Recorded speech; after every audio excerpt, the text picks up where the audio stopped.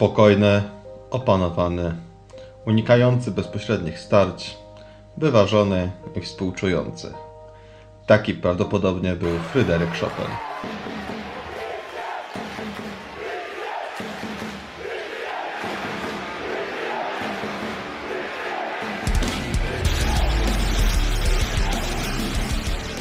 Natomiast bohater tego materiału jest zły, agresywny, silny, a sprowokowany chce zrobić ci krzywdę.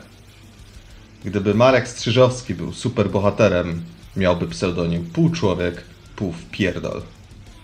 Ponieważ jednak nim nie jest, ma ksywkę fryzjer, która na polskim lodowisku oznacza krew i pot, ale na pewno nie łzy.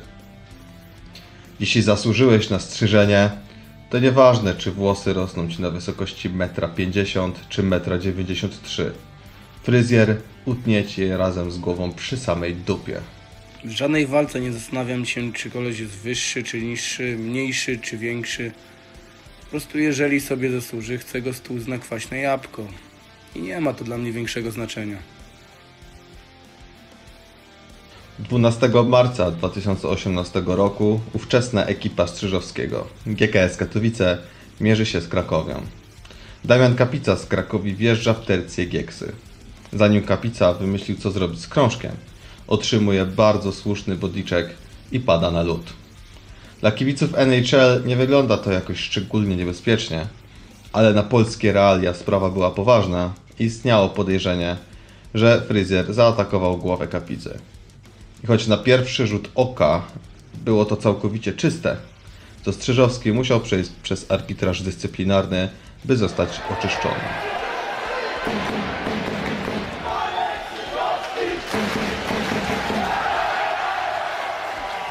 Dla kibiców National Hockey League dziwnym może się wydać, że nie było odwetu na Strzyżowskim za to zagranie. Nie było go, ponieważ to on jest jednym ze stojących na czele łańcucha pokarmowego ligi.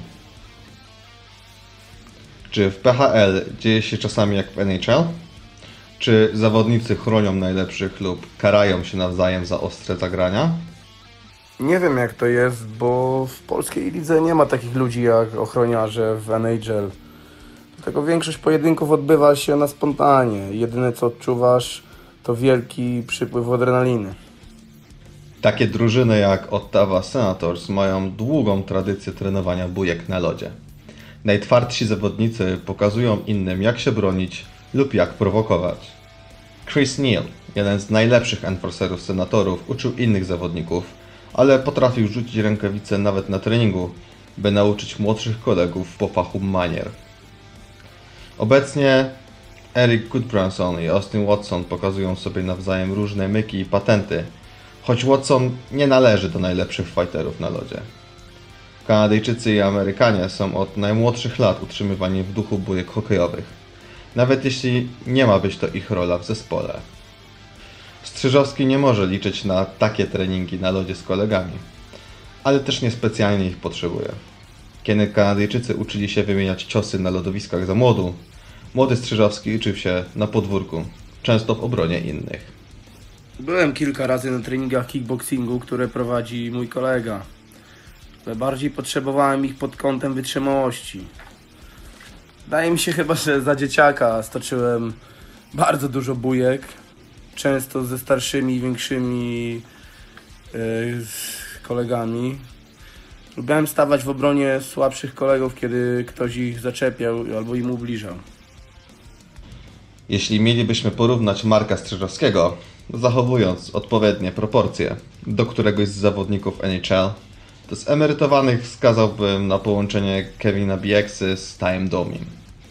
Jeśli zaś mielibyśmy przyrównać go do kogoś z obecnie grających hokeistów NHL, na myśl od razu przychodzi Brad Marchand z Boston Bruins. Strzyżowski jest niepozorny, a na lodzie dużo się uśmiecha, ale w razie potyczki obije ci twarz, a czasami jeszcze twarz twojego kolegi z zespołu. Najlepszym przykładem jego charakteru jest potyczka z Miskolci Jeges Medvek z Węgier w 2014 roku, kiedy to Strzyżowskiemu zalazło za skórę dwóch rywali. Dla Marka nawet nie mieli nazwisk. Dla niego byli oni jak statyści w superprodukcji Andrzeja Wajdy. Węgier pierwszy i Węgier drugi. Był jak Tommy Lee Jones w ściganym, albo Bogusław Linda w psach. On nie prosił ich do wyjścia. On kazał im po prostu. Wypierdalać. Pamiętam to jak dziś. Byłem wtedy bardzo nabity po przygotowaniu letnim. Zaczęło się od tego, że pierwszy Węgier uderzył mnie po rękach kijem i dostał ma- niezłe manto, praktycznie nie podejmując walki. Po czym jego kolega chciał stanąć w jego obronie. Zaczął się drzeć z boksu. Coś w stylu hej, pieprzona cipko, spróbuj ze mną. Jak jesteś taki twardy. No i co? No i zaprosiłem go do tańca. No i stoczyliśmy wtedy niezłą bójkę, robiąc fajne widowisko. Po całym zajściu fryzjer zaczął jeszcze podgrzewać atmosferę na trybunach. Wesoło pokazywał rywali palcem i zjechał z lodu na własnych warunkach. Dokładnie jak robili to Ty Domi w potyczkach na przykład z Montreal Canadiens, kiedy po natłuczeniu kilku zawodników wytykał palcem hokeistów rywali siedzących na ławce.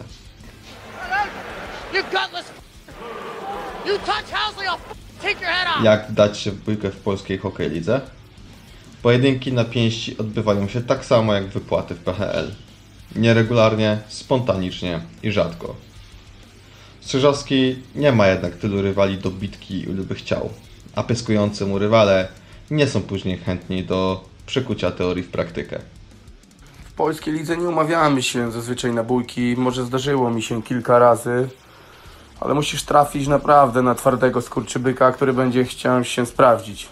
Nie mam zwyczaju wyzywać rywali. Jedynie to, co śmieje im się w oczy. I pytam, co mi mogą zrobić. Słyszałem różne nie, bardzo niemiłe teksty. W większości ci zawodnicy, co to mówili, to najchętniej jakbyś do nich wystartował, to uciekliby trenerowi na kolana. O twardych hokeistach mówiliśmy już w poranku Kojota niemało. Wspominaliśmy o Michałowskim czy, czy Dupuy. Ale jako poważnego, twardego rywala Strzyżowski wymienia Macieja Urbanowicza. Maciek jest jednym z twardszych zawodników w lidze. Mieliśmy kilka bardzo mocnych starć ciałem i nie tylko. Graliśmy kilka lat temu razem z Maćkiem e, w GKS-ie Katowice. No i wtedy poznaliśmy się lepiej. No i do dzisiaj jesteśmy dobrymi kolegami. Twarda gra daje Ci dużo uznania wśród kolegów, ale dużo mniej tego uznania znajdujesz u sędziów. Innymi słowy, cokolwiek zrobisz, na wstępie uchodzisz za zabijakę. Jednak w przeciwieństwie do zarządów, prezesów i innych, za przeproszeniem, działaczy, hokeiści chcą, by hokej pozostał hokejem. A pochlebne zdanie na temat pojedynków na pięści wyraża także nasz bohater. Oczywiście, moim zdaniem bójki w polskiej lidze powinny być dozwolone, ponieważ zminimalizowałyby liczbę brzydkich zagrań. Na koniec pytaliśmy fryzjera, czy warto w polskiej lidze grać w takim stylu, jaki on prezentuje. Ma na to prostą odpowiedź. Oczywiście są tego plusy i minusy z dwóch względów. Jeden jest taki, że sędziowie traktują cię i postrzegają jak bandytę i za wszystko odwizdują ci faule. Ale też są y, plusy, takie jak na pewno respekt przeciwników.